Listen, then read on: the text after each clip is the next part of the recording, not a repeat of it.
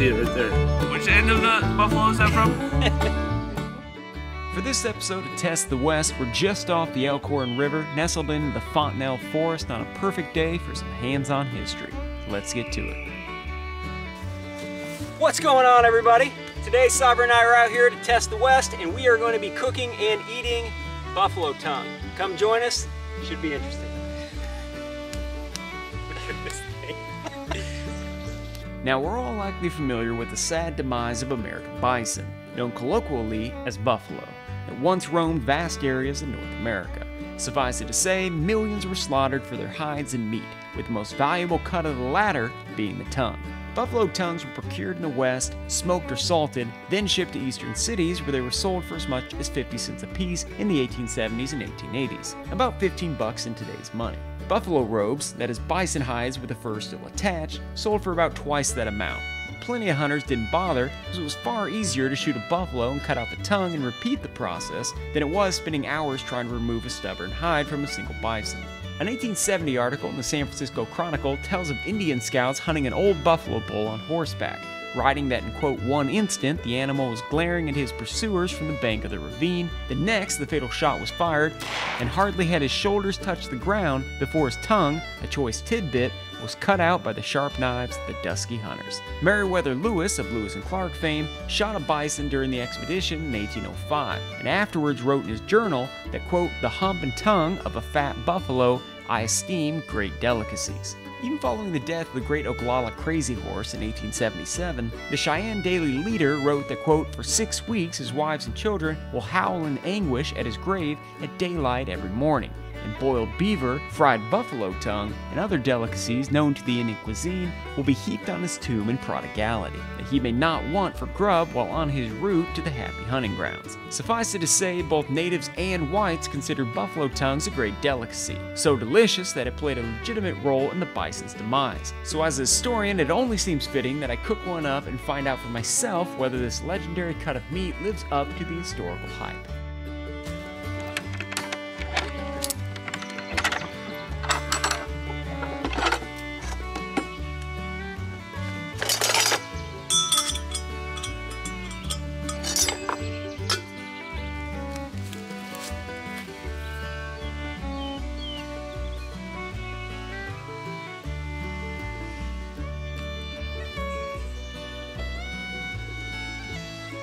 I know what you're thinking. Nothing weird about a couple dudes out in the woods with one of these things, huh? It's all good. All right, now because this buffalo tongue's so big, it doesn't fit into our kettle. So I'm actually gonna have to cut this thing up, then we'll put it in there, and then we'll get to cooking.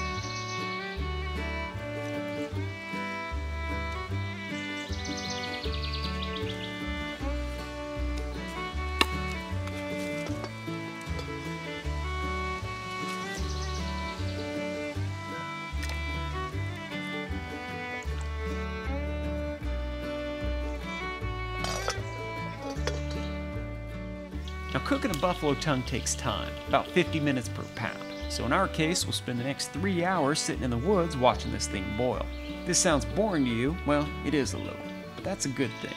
In boredom, we give our minds a break from processing the stimuli of the outside world and allow our brains to inwardly wander. And this isn't just my opinion. Studies have shown that boredom shuts down our insular cortex, part of our brains important for processing information that we think is relevant to our immediate goals. This rest state restores rebuilds the resources we need to work better and more efficiently when we re engage with the world around us. Boredom is essential for brain health, productivity, creativity, personal sanity, and more. But thanks to smartphones, most of us never even get the chance to be bored anymore. At any lull, we bury our faces in our screens to kill time, with the average American spending three hours a day doing just that. If we keep that pace up for the next 60 years, seven and a half of those will be spent staring at our phones. It's kind of wild, right? So protect yourself from mental fatigue by preventing your devices from stealing your boredom and get comfortable with the uncomfortable. It's worth it, I promise.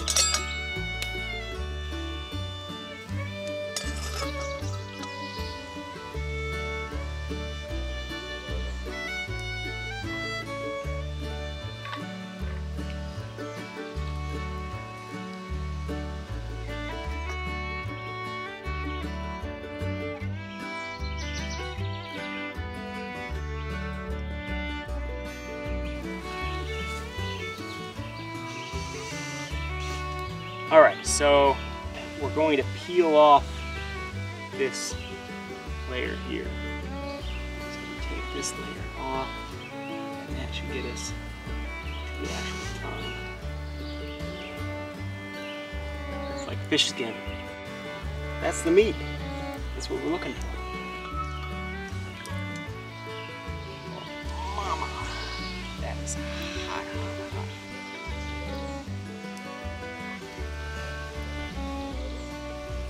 So I think what we're gonna do is we're gonna try some of this just as is, just boiled buffalo tongue. And then I think we're gonna use another side of it and we're gonna put it on the skillet and we're gonna try that out, see which one's better.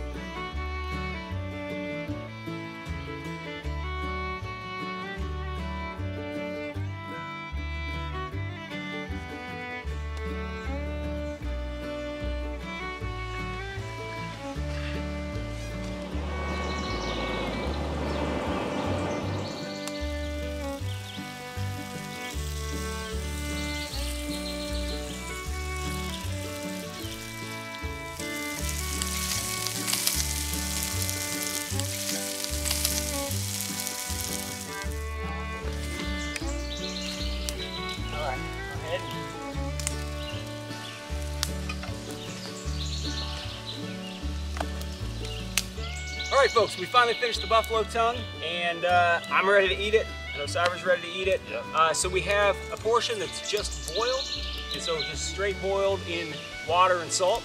And then we have a portion that we use salt and pepper, and we put it on the skillet. So we're gonna try both, see what's what. Let's dig in. Moment of truth. I think we should try the boiled one Yeah. first, since I'm thinking it's gonna have less flavor than The skillet one. yeah, the skillet ones. So, uh, bon appetit.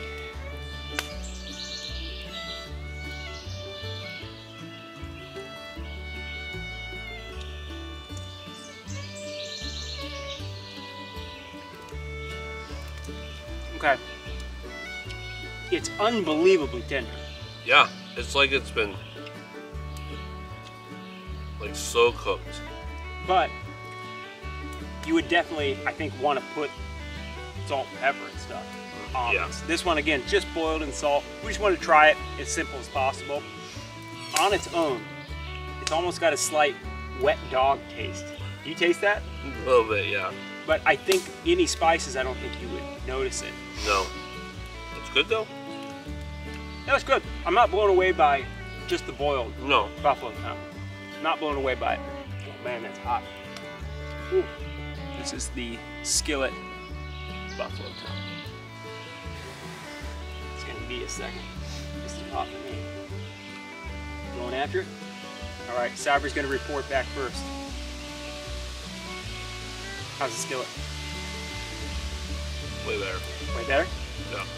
The added flavor from it and the getting that little bit of crispiness on Yeah. to like yeah.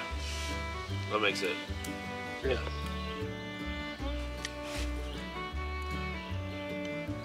That's really good. Yeah.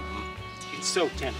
It maintains that softness of like the boiled, but it gives you that slight crispy outside. Mhm. And again, just salt and pepper on it. It just tastes like thick cut bacon, but softer. Like Yep. not chewy like Right. bacon. That's real good. I can see why this is a delicacy. if you were a total asshole and you just kill a buffalo and you're going to take one portion of it, Yeah. I get why you would just take the tongue. Mm-hmm. Because that's really tasty. Mm-hmm.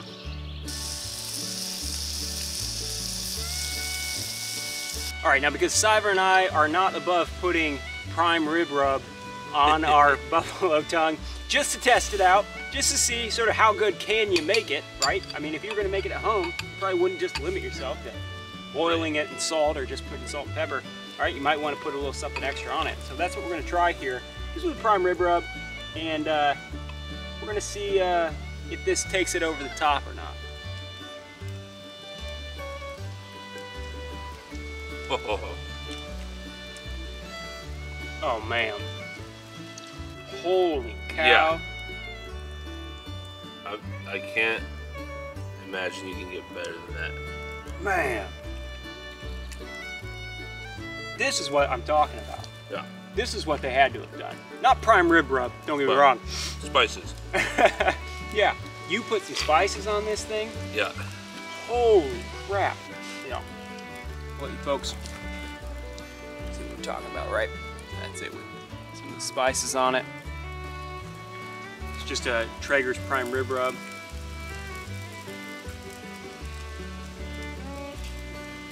Oh man.